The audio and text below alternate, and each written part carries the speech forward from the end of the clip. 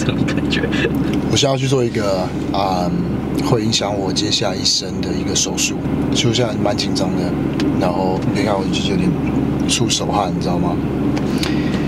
也也很期待啦。其实我一直很想要做，我已经想要做这个手术已经二十三年了，之前都不敢尝试，因为如果这手术失败的话，那后果是蛮严重的，而且我也不想让它失败，所以我一直就很犹豫。不过今天呢，决定要去做，但是为什么要去做这个手术呢？啊、我必须要先从我六岁的时候开始讲起。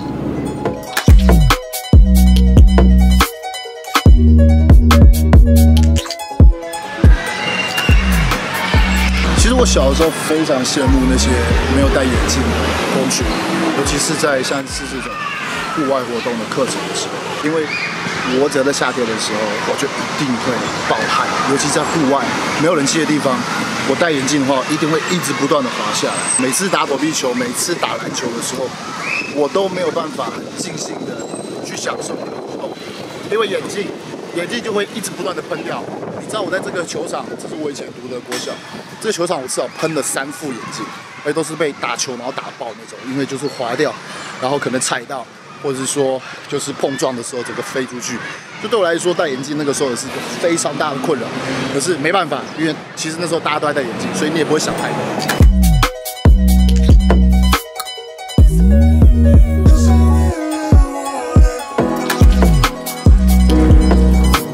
当我国中毕业后呢，我就去了加拿大开始读高中。当时高中呢，我最想要做的就是我要买隐形眼镜，我想要戴隐形眼镜，不要再戴近视眼镜了。我妈妈是极力反对戴隐形眼镜，所以那时候逼不得已，我只能透过一些不一样的管道。所以所谓这个不同的管道呢，其实就是我们所谓的黑市。那个时候在加拿大，如果你没有医生的处方签，很多的华人学生都是这样做，他们都是去华人街或是中国城，然后去找一些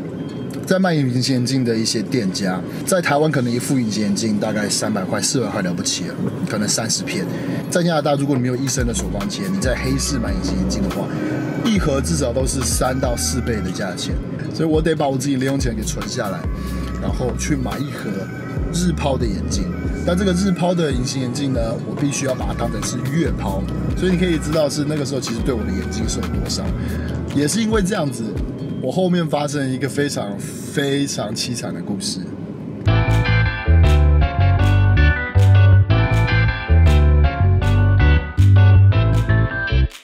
通常一副隐形眼镜我会戴到是它真的是非常干涩，然后不舒服，我才会换一副全新的。那我在高中的时候，我就是用这样的方式去度过，因为没有办法没办法买很多的隐形眼镜。所以有一天晚上呢，我跟我朋友出去玩，然后我们也是喝酒喝得很开心，啊、突然我们走在路上的时候，我就跟我朋友说，我想上一下厕所。后来当我从厕所出来后，我的眼睛很干，所以我就这样子顺势的这样揉了一下，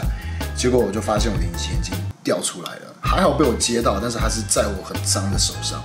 当下我就看了一下，我想说，我到底要不要把它塞回去眼睛里面？因为这副隐形眼镜当时我已经戴了超过两个礼拜了，那我又没有办法有清洁液可以做清洗。但如果我不把它塞回去的话，我变得是会有很严重的视差，那会影响到我一整晚跟朋友玩的那种兴致，你知道吗？所以我还是就是硬着头皮把它塞回去，不管那么多，反正那时候也是喝酒，真的没想那么多。结果隔天，隔天我就长针眼，而且这个针眼它居然没有消下去。在加拿大看病也是一个非常困难、非常麻烦的一件事情。我去任何的诊所，然后跟他们询问，第一个那边诊所没有很多，再来药局他们也不会给你一些在台湾你可以拿到一些特殊药种，去让这个针眼赶快的去消除掉。所以这个针眼呢，它就一直伴随着我，一个礼拜、两个礼拜、三个礼拜、四个礼拜，超过一个月后，它就开始定型，然后长在我的左眼眼角这边。你知道这感觉是什么吗？我那当时我是一个非常想要融入的一个人，那个针眼反而就是设下一个更大的阻碍，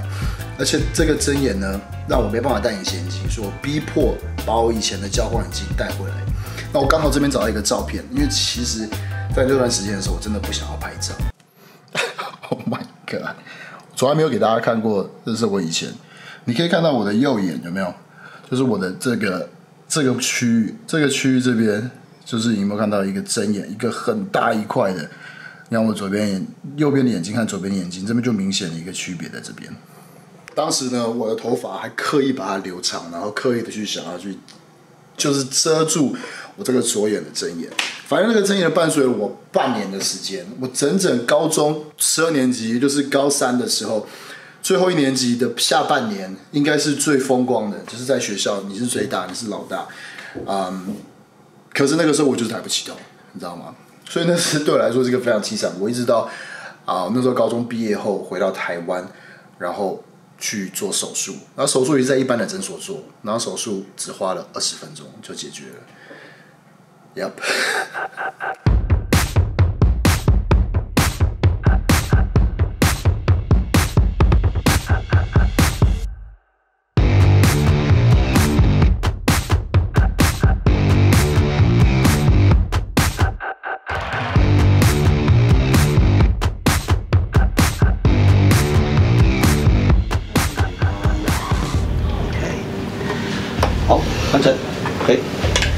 我有问题想要问金导，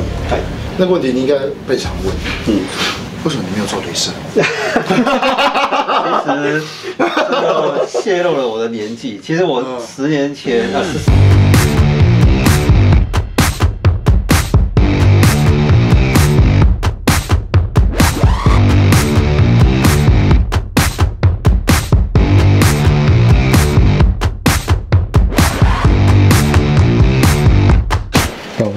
有这种感觉吗？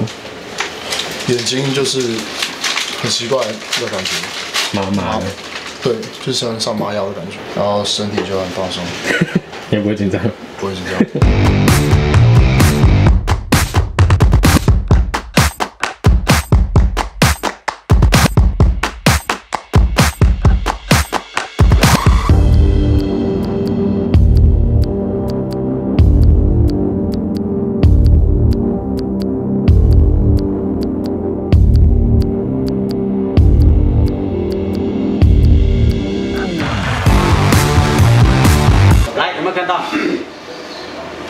Smile 近视镭射中心。